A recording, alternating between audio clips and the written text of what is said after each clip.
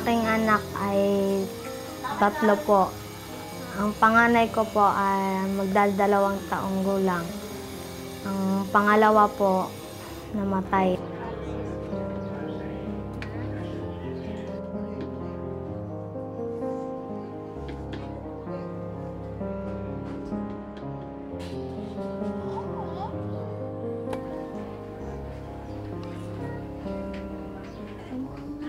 Nalaman ko nga yun, edi sinaptan ko siya sa galit ko.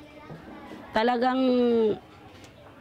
sinampal-sampal ko siya. Kung ako lang hindi ko tanggap na magbubuntis siya ng bata pa, gusto ko mag-aral siya. Kaya sa galit ko, nasaktan ko siya. Nabuntis ako ng unang anak, labing tatlong taong gulang.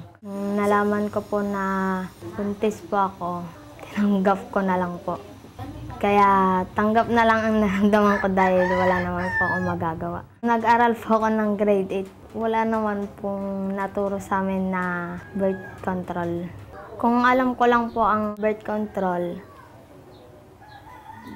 gagamit po ako nun kasi para ma maiwasan ko po.